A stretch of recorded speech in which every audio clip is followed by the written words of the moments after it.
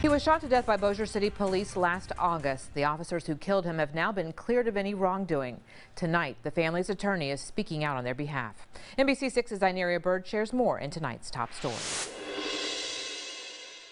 always hope that law enforcement would do the right thing. According to James Carter, the right thing is granting justice in the killing of Jonathan Jefferson.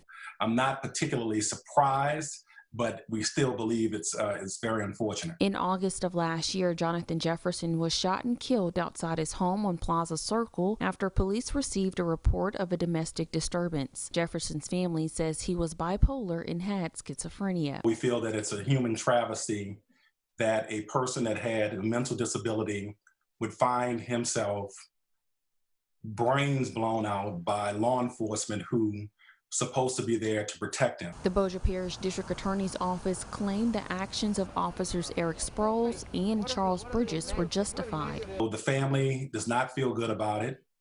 We are saddened that the prosecutor in Bossier Parish uh, failed to uh, bring charges against the officers who are involved. James Carter represents the Jefferson family. He says neither he nor the family were notified about the prosecution's decision on the case. Very difficult sitting back wondering what law enforcement is doing.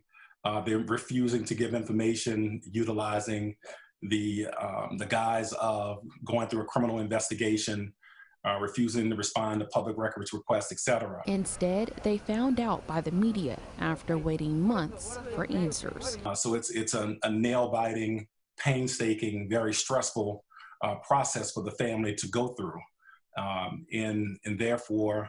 Uh, you, you have a situation where the family continues to struggle in to receive this information in the way that they receive the information, again, only compounds this distress coming out of Christmas. Zyneria Bird, NBC 6 News. And the district attorney says the officers' actions were justified because they believed they were in imminent danger. The family is considering filing a lawsuit.